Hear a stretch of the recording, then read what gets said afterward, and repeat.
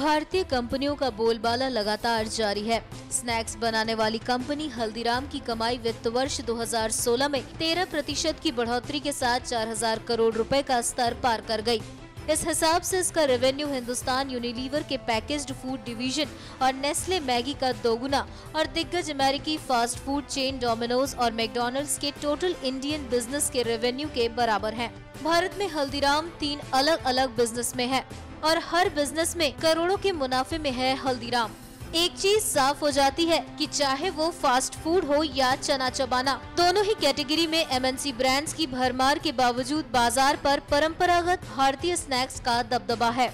Experts के मुताबिक Haldiram brand की रिटेल सेल्स 5000 करोड़ से ज़्यादा हो सकती है। 1937 में बीकानेर के अग्रवाल परिवार का एक छोटी सी दुकान से शुरू हुआ बिज़नेस ब्रांड बनने के दौरान विवादों में घिरा। उभरा और बढ़ा। हल्दीराम अग्रवाल परिवार का लॉन्च किया गया ये ब्रांड पार्ले के बाद दूसरा सबसे बड़ा इंडियन ब्रांड है। ब्रांड ने रेस्टोरेंट और कैजुअल डाइनिंग से शुरुआत की थी। अब कंपनी के रेवेन्यू में 80 प्रतिशत ऐसी ज़्यादा योगदान पैकेज्ड प्रोडक्ट्स का है।